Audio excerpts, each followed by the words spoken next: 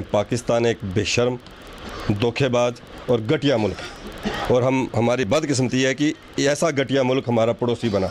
और अटल जी ने यह बोला था कि हम दोस्त बदल सकते हैं, पड़ोसी नहीं बदल सकते। अब पड़ोसी नहीं बदला जा सकता, लेकिन वो बेईमान है, करप्ट है घटिया है और आज दिवाला निकल चुका है पाकिस्तान का।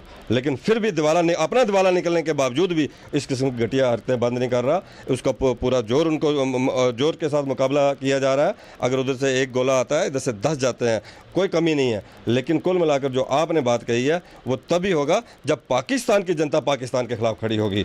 आज इस सारी चीज़ से पाकिस्तान की जनता जो है त्राई त्राई में आज देखिए आप कहाँ कहाँ पाकिस्तान के खिलाफ नारे नहीं लग रहे हैं। बलूचिस्तान में पाकिस्तान के खिलाफ नारे लग रहे हैं। सिंध के अंदर पाकिस्तान के खिलाफ नारे लग रहे हैं। पाक आकोपाइड जम्मू कश्मीर के अंदर पाकिस्तान के खिलाफ नारे लग रहे हैं, क्योंकि पाकिस्तान का दिवाला निकल चुका है। मेरा यह मानना कि आने वाले दिनों के अंदर पाकिस्तान की जनता ही पाकिस्तान के खिलाफ खड़ी है जिसका फैसला हमारे honourable home minister Rajnath Singh ji ने किया है, उसके ऊपर मुझे कुछ ज़्यादा बोलने की ज़रूरत नहीं।